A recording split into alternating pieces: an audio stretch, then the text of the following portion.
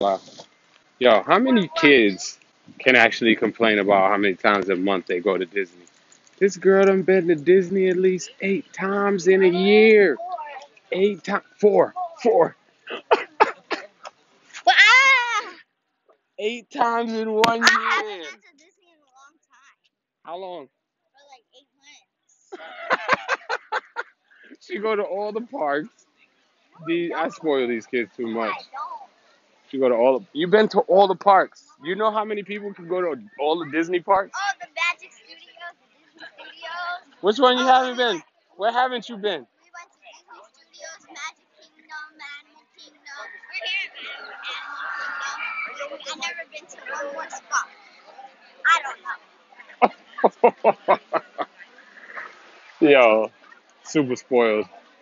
Super spoiled. I got the spoiled squad over here. Megan, could we use one A bat.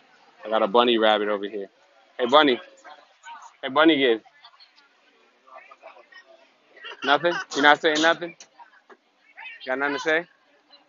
Spoiled.